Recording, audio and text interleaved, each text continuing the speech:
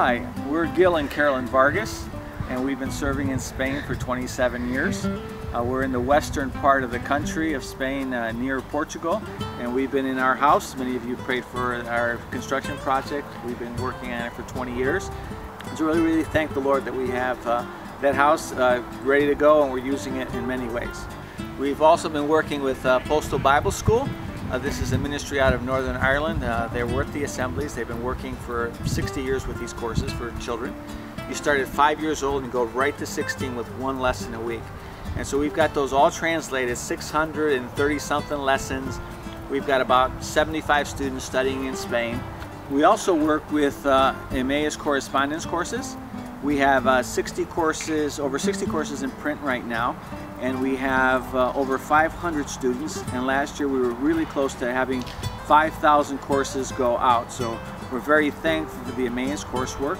We also use eight languages in Spain as well, from Chinese to German to uh, Ukrainian. What could you possibly do in a kitchen for the Lord when it comes to grading courses? Well, here you have a homeschooling mom who is preparing some of the stuff for the Bible time. She revises the courses on an iPad. So what she does, we send it to her after we prepare it, and she gets it ready and then sends it back to us. We have a team of about um, five or six families as well as single people who help us with the Emmaus courses and we are the old people now and so uh, we tend to be able to travel to these places and um, do some pastoral care. Um, and the Lord has given us a lot of opportunities. It's, it's been a real blessing as we visit some of these families. Uh, we have one family that's out in an area where there's no local church, so they have seven children. So we're uh, helping the parents to work with their children, their teenage, older teenagers, some of them, and so we're encouraging them and motivating those young people. So all of these are the next generation that we're trying to develop with a Christian worldview to help in the work in the future.